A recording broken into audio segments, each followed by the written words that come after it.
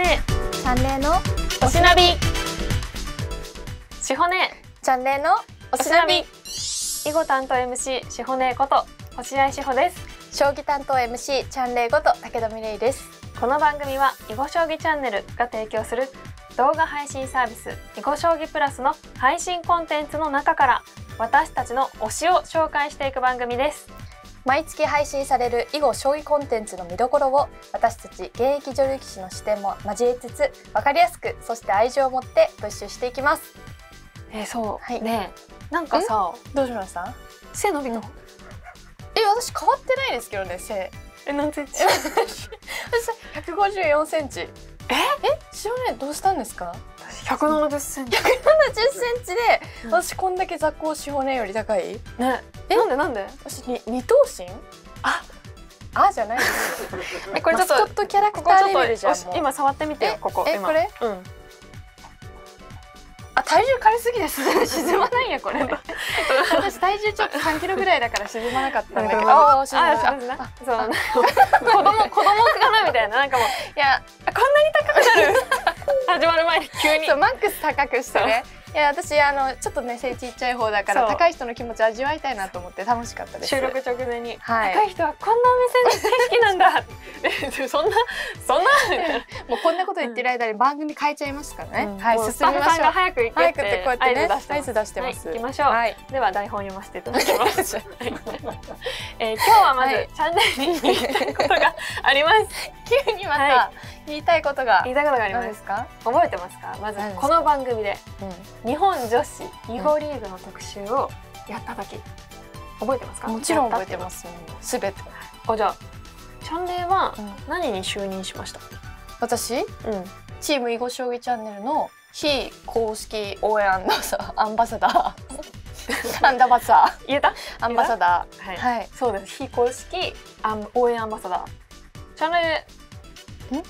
応援アンバサダーのお仕事なんかししたっいやいやじゃ対局日にけ家でフレーフレーフレーってやってる。ねね、うん。チーム囲囲碁碁将将囲碁将囲碁将ってやってます。あーなるほどね、はい。たださ、うん。あのさ はい。あの時にさ、うん。鈴木真二監督がさ、うん。会場に応援に来てくれたら非公認から公認に昇格という約束をね言ってましたね。今もや いやいや今じゃない今じゃない。ちゃんと分かってます本よでもね、うんこれ深いわけがあるんですよ。うん私はちゃんとうん。あの開幕戦に駆けつける気満々でスタッフさんに言ってたのに、うん。スタッフさんからねストップがかかったの。ちょちょっともう最初だしちょっともうちょっと安全に行きましょうみたいな感じで。ね。でだから、初めてだからね。そうなんです、うん。だから私はスタッフさんの指示にこう従って今、会場に行くタイミングを待ってるっていう状況で、行く気満々ですよ、本当？本当疑わないでください。はいはいはい。はい、だからまだ応援は行き行けてないんですけど対局結果もスコアもねちゃんとうん。チェックしてますし、うん。もう囲碁将棋チャンネル心から応援しております、ありがとうございます。はい勝つとね私も嬉しくなっちゃって嬉しいです頑張っねております、そうでもね、はい。チャンネルの応援のおかげもありましてうん。おかげさまで現在暫定首位とおーすごい。なっております。はいどうですか、はい。今までの戦い振り返って。そうですね、まあ、ちょっと直近のはねあのチーム負けてしまったんですけど、あのーでも、まあ、今ぜ現在2勝1敗、うん。チームは。ででもそうですね最初の方は結構緊張もあったんですけどょありました、まあ、あの他の選手はあまり緊張しないタイプっぽいので。意外としないしぼねが一 してないかもみ番たいな感じなんですけど、まあ、うん。個人的には結構その最年長ということもあるしちょっとちょっとでも後輩が安心してうん。対局に臨めるように、ちょっとなんか少しでもなんか自分が貢献しなきゃみたいな気持ちが強かったので結構普通の公式戦その個人戦の手合いとは違った気持ちで結構臨むことが多くて、そうなので結構緊張してたんですけど、まあ、だんだん慣れてきたかなっていうところですね今。だってもう全部出てますもんねしほね。あそうなんです。おかげさまで。はい、うんということで、はいまあちなみに11月うんはチーム囲碁将棋チャンネルは手空きになるんですね。はい、そうです。はい。なのでまあそこはお休みということで。お休みでございます。まあその次はいつうんとか決まってます？えっと12月14日なんですよ。おうん、だからでそれでホームゲームで、うんえチーム若鯉と対戦いたします。うん、チャンレどうですか？今あの脳内のスケジュールを今確認して空いてますね。すごい本当？空いてますね。12月14日、はい。言いましたね。1月も空いてますね。1月も空いてる。はい。1月えっと18だったかな？全部ちゃんとちゃんとね把握して空いる。てますね。試合日を。だからもうスタッフさんの OK 入れたら私も走っていきますから、本当？はいお邪魔にならないようにね。本当に、うんありがとうございます。嬉しいですね。楽しみにしてます、うん。だから12月まだまあうん予定がね確定はしてないんですけれども、会場に行けても行けなくても精一杯ね、フレーフレー言ってますので、はい。頑張れ囲碁将棋チャンネル。はい。ということで。いい感じですねはい。まあ多分。チーム囲碁将棋チャンネルなんだな。なんて言った今？頑張れ囲碁将棋チャンネル。囲碁将棋チャンネル応援しちゃった配信応援する。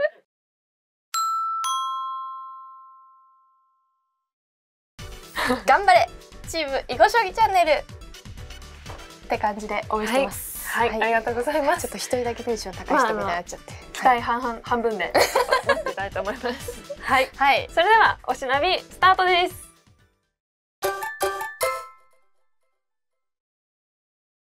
特集コーナーおしなびプッシュ。です。チャンネ本日の特集テーマをお願いします。はい、えー本日の特集テーマはこちらです。優勝の栄冠は誰の手に？第33期流星戦第32期銀河戦決勝トーナメント開幕直前スペシャル。いやもうこの季節ですか。早い1なんか年が早く感じますね。ついこの間決勝トーナメントやった気がするんですけどね。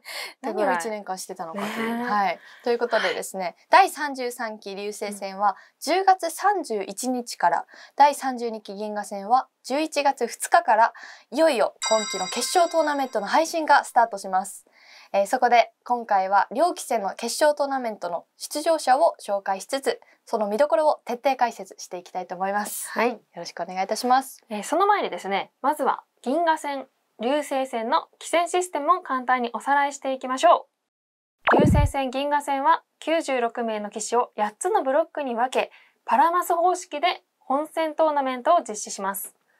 各ブロックの最終勝ち残り者に加え最多連勝者も決勝トーナメントに進出できます。他棋戦に比べて若手にチャンスがあるのが特徴。過去には、えー銀河戦流星戦でえー最多連勝者での勝ち上がりから優勝を達成している方も多数いらっしゃいます。ははい。ちょっとね特殊なシステムですね。そうなんですよ。はい。やっぱね最多連勝者がねこう枠抜けできるっていうのがねやっぱ魅力の一つですよね。うん。うんというわけで、えーそろそろ気になる今期の決勝トーナメントの組み合わせを紹介したいと思います。はいまずは第33期流星戦からです。はい、このような、はい、そうそうたるはい、顔ぶれですね。そうですね、はい、もうこんな人数に絞られたわけですね。そうです。ベスト16ですね。はい。えーさまずはですね、やっぱり何と言っても3連覇を狙う井山裕太流星。うここは外せないですよねん、。そうですねう。ん三、連覇を狙う。そして現役タイトルホルダーの一力遼棋聖、芝野虎丸名人なども今期もうん強豪棋士が、はい、勢ぞろいしています。そうですね。熱いですよね。そしてですね、最多連勝で勝ち上がった棋士も本当に実力者ばかりで、うんそして若手がね、やっぱり多いなという印象も受けますね。うんそしてこの中で私、志保姉が注目するのは、まず F ブロックの最終勝ち残り者、福岡幸太郎五段です。福岡五段聞いたことありますね。あの、浴衣囲碁祭りでね、そうですよね。お会いしてます。ステージイベントでお見かけしたんですけど、そうなんこの方なんで注目されてるんですか？それはですね、説明するよりもまずこちらを見てください。はい。どうぞ。なんか大人の階段登ってる。あ違うか。そうよね。何段登ったんだろう、ね。何段もの？もうすごい。これはですね、なんとはい。台本読んでください。何これ？11連勝ですか？そう。11連勝はい。すごくない？いやこれは気持ちいい勝ちっぷりですね。あの11連勝を銀河戦だけであじゃあ流星戦だけでですよね。だけです。はい。流星戦のあの本戦ブロックで11連勝というのは達成したのはですね、うん。あの現在の11回戦制になってからは史上3人目です。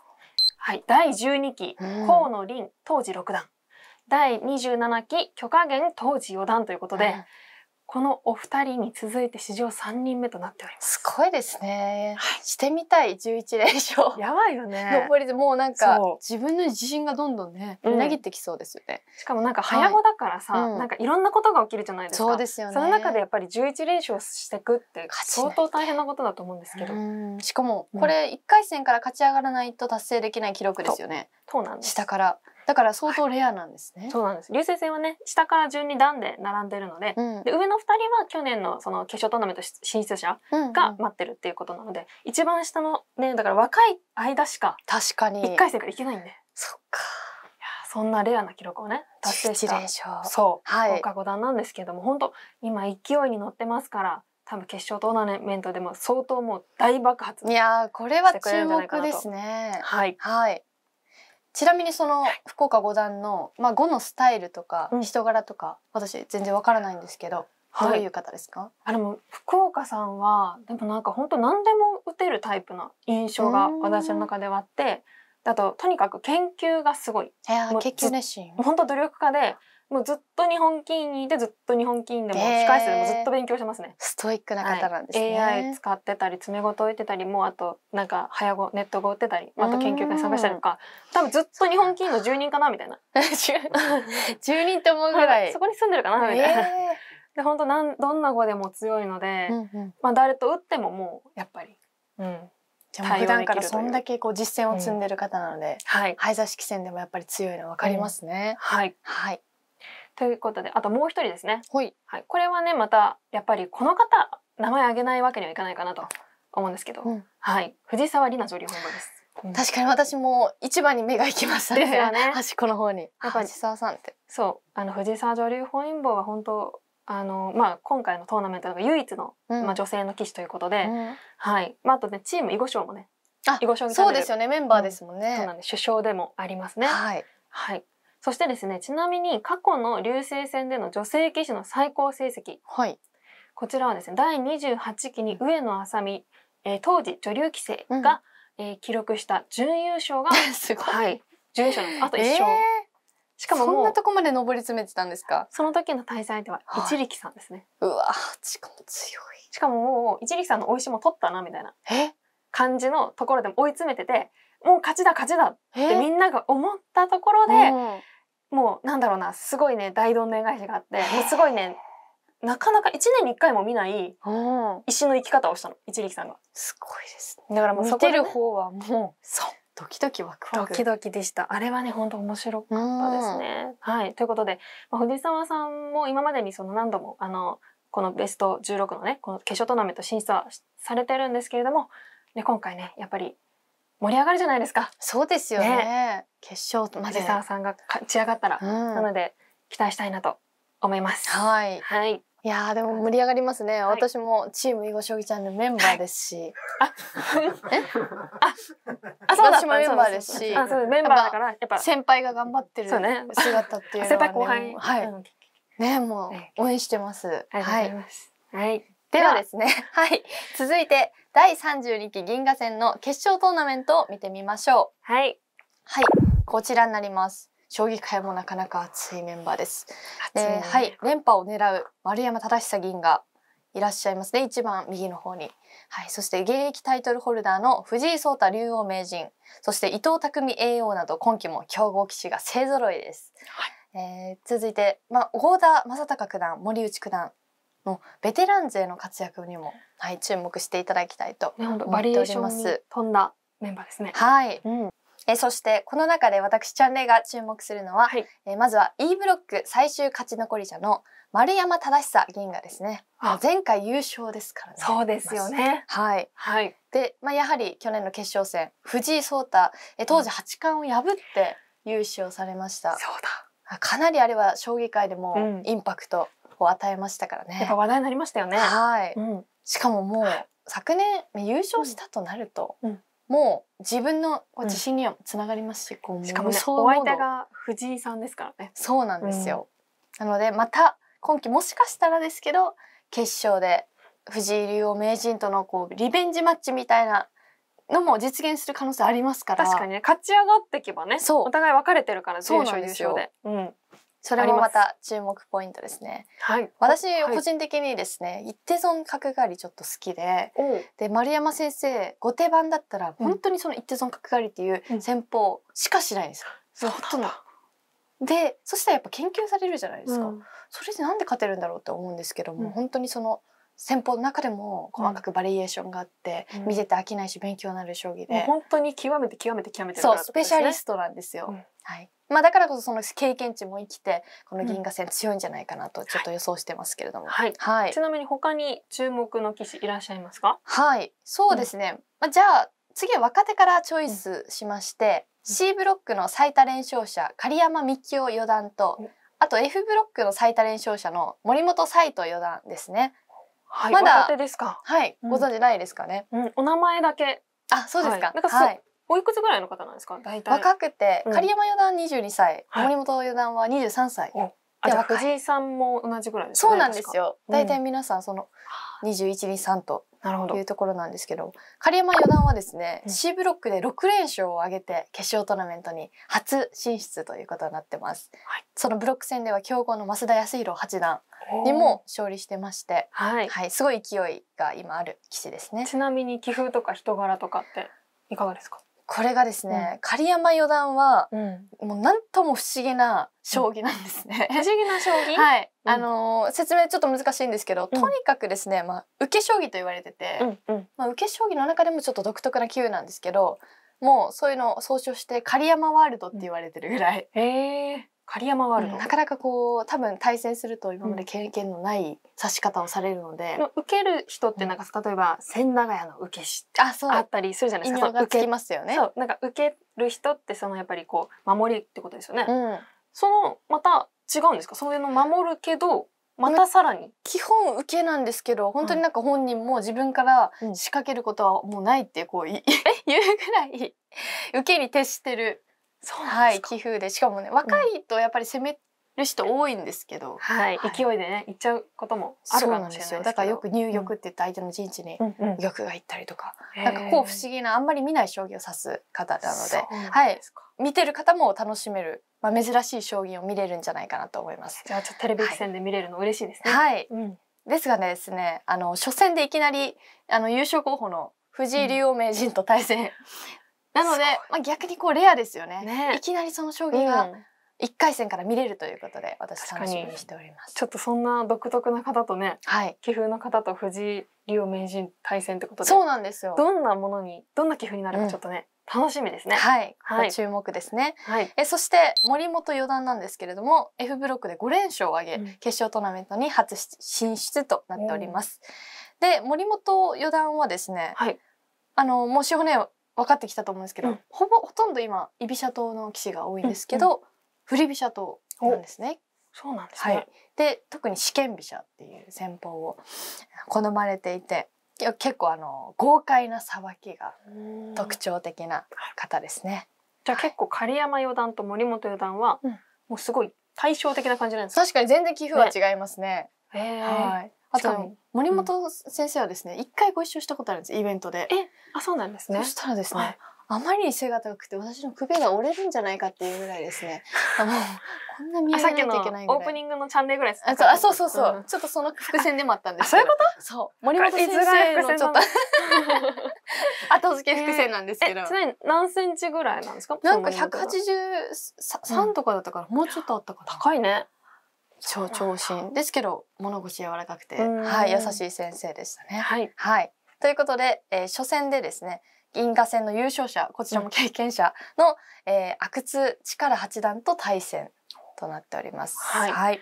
まあ、二人ともね強敵ですがはい。まあでもここでそのトップ棋士をね破ったりしたら、うんそのまま勢いに乗って、いや、ね、それはありますよね。ずっといっちゃうかもしれないですね。はい。うんというわけで皆さん、今日私たちが紹介した棋士に注目して、竜星戦銀河戦の決勝トーナメントを楽しんでください。そして第33期流星戦は10月31日木曜午後6時から第32期銀河戦は11月2日土曜午後1時からいよいよ今期の決勝トーナメントが配信開始となります。えー囲碁将棋プラスではどこよりも早い最速配信で熱戦をお届けしますのでこの機会にぜひメンバーシップ登録をよろしくお願いいたしますえーそれでは続いて11月配信のおすすめコンテンツを紹介していきたいと思います。まずは囲碁からです。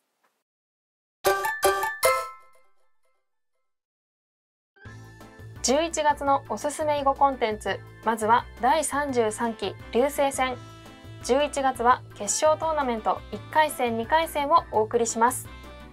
私しほねえの推しカードは1回戦第1局芝野虎丸名人対藤沢里奈女流本因坊の一戦です。こちらを推した理由なんですが、まあ、もう理由語らなくてもいいんじゃないかなというぐらいの好カードな、はい、組み合わせとなっております。そしてなんといっても開幕戦なんですよね。そして、まあ、芝野虎丸名人えーそして藤沢里奈女流本因坊ということで現役のどちらもタイトルホルダーもうずっと第一線で長く活躍しているお二人ということでどんな碁になるか楽しみです。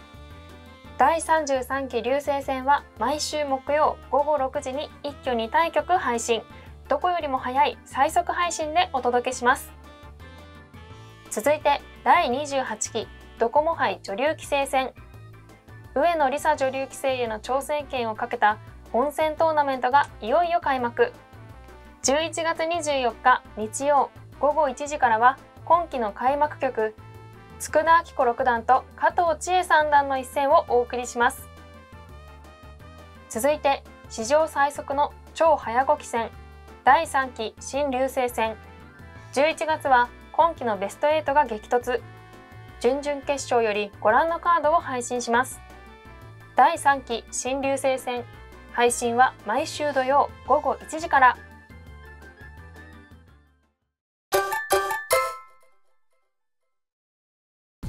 続いて11月のおすすめ将棋コンテンツ。まずは第32期銀河戦。11月は決勝トーナメント1回戦2回戦をお送りします。私チャンレイの推しカードは1回戦第3局藤井聡太竜王名人対狩山幹夫四段の対局です、えー推しポイントなんですけれども先ほど狩山四段のま棋風を説明したところなんですけれども本当に独特の受けの棋風であ特に力戦長の将棋をすごい好まれる方で今ちょっと棋士には少ないタイプなのでその棋風に、えー藤井竜王名人がどのように対応してどんな将棋になるのかこれは見逃せない一戦になると思います。お互い力のこもった一局になるのではないかと期待しております。第32期銀河戦は毎週土曜午後1時に一挙2対局配信。どこよりも早い最速配信でお届けします。続いてアルソック杯第74期王将戦。挑戦者決定リーグ戦。藤井聡太王将への挑戦権をかけた7名の棋士によるリーグ戦を全局独占生配信。配信カードは決定次第囲碁将棋プラスの SNS 等で告知しますのでそちらをチェックしてください。続いて国際将棋フォーラム2024将棋の国際普及振興と将棋を通じた文化交流。国際親善を目的としたイベント国際将棋フォーラム2024より11月9日東京渋谷の新将棋会館で行われる第9回国際将棋トーナメント決勝戦と記念対局藤井聡太竜王名人対優勝者の模様を生配信。YouTube 囲碁将棋プラスでは藤井聡太竜王名人に番組内で質問できる特別コーナーも実施予定です。おしなび。エンディングです、えー今月は竜星戦銀河戦の決勝トーナメントを特集しました。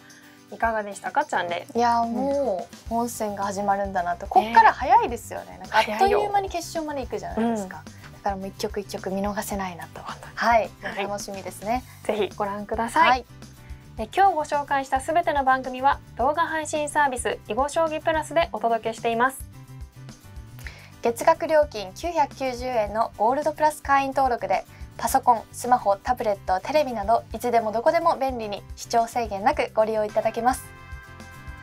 ゴールドプラス会員の登録は囲碁将棋プラスを検索するかこの動画の概要欄にもリンクがありますのでそちらから登録をお願いいたします。えーこのおしなびも毎月更新していきますのでぜひチャンネル登録の方もよろしくお願いいたしますえーそしてこのおしなびの MC コンビでお送りしているスピンオフ企画おしなびアフタートーク。